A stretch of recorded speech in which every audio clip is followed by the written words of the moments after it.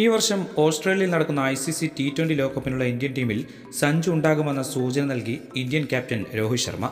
ഒരു ഇടവേളയ്ക്ക് ശേഷം ശ്രീലങ്കയ്ക്കെതിരായ ടി ട്വന്റി പരമ്പരയിൽ സഞ്ജുവിനെ ഇന്ത്യൻ ടീമിൽ തിരിച്ചെത്തിച്ചിരുന്നു. പരമ്പരയ്ക്ക് മുമ്പായി നടന്ന പ്രസ് കോൺഫറൻസിലാണ് സഞ്ജുവിനെ ടീമിൽ ഉൾപ്പെടുത്തിയതിന് പിന്നാലെ കാരണം ക്യാപ്റ്റൻ രോഹിത് ശർമ്മ വിശദീകരിച്ചത്. ഇതുപോലുള്ള ക്രിക്കറ്റ് വാർത്തകൾ ആദ്യം അറിയാനായി ഈ ചാനൽ സബ്സ്ക്രൈബ് ചെയ്യുക. ഇന്ത്യയ്ക്ക് വേണ്ടി രണ്ടായിരത്തി പതിനഞ്ചിൽ അരങ്ങേറ്റം കുറിച്ച സഞ്ജു ഇന്ത്യയ്ക്ക് വേണ്ടി പത്ത് ടി മത്സരങ്ങളും ഒരു ഏകദിന മത്സരവും കളിച്ചിട്ടുണ്ട്. കഴിഞ്ഞ വർഷം ജൂലൈയിൽ ശ്രീലങ്കയ്ക്കെതിരെയാണ് സഞ്ജു അവസാനമായി ഇന്ത്യയ്ക്ക് വേണ്ടി കളിച്ചത്. ഒരു ഇടവേളയ്ക്ക് ശേഷം ടീമിലേക്കുള്ള തിരിച്ചുവരവിൽ സഞ്ജു മികച്ച പ്രകടനം പുറത്തെടുക്കുമെന്ന പ്രതീക്ഷയിലാണ് മലയാളി ക്രിക്കറ്റ് ആരാധകർ. സഞ്ജുവിന് വളരെയേറെ കഴിവുകളുണ്ട്.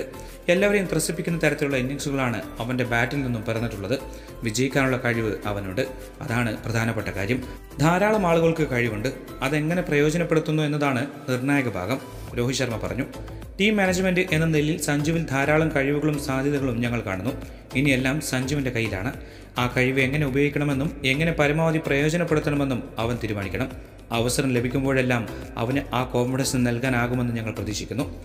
അവനെ തീർച്ചയായും ലോക്കപ്പ് ടീമിൽ പരിഗണിക്കുന്നുണ്ട്. അതുകൊണ്ടാണ് അവനെ ടീമിൽ ഉൾപ്പെടുത്തിയത്. അവന്റെ ബാക്ക് ഫുട്ട് ഷോട്ടുകൾ ഗംഭീരമാണ്.